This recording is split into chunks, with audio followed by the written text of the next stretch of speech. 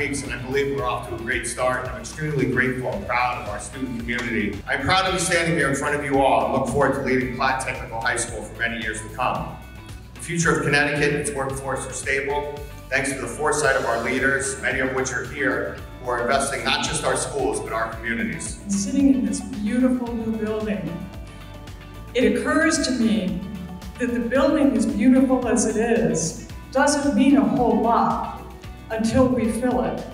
And we're filling it with purpose, with pride, and with a mission that our mission is to contribute like no one else to Connecticut's workforce. To those students who will pass through these halls, you are our future. You are going to make sure our economy in Connecticut remains at the forefront, leading the nation. This school is unmatched.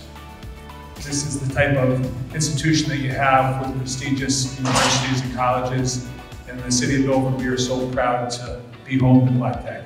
It is at Platt Technical High School students gain those invaluable trade skills that increase opportunities to succeed in the workforce. So thank you all very much for coming together to celebrate with us and to also demonstrate what it takes for students to be successful.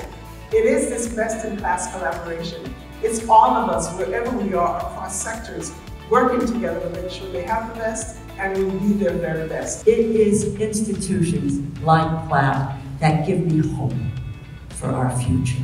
You are our future.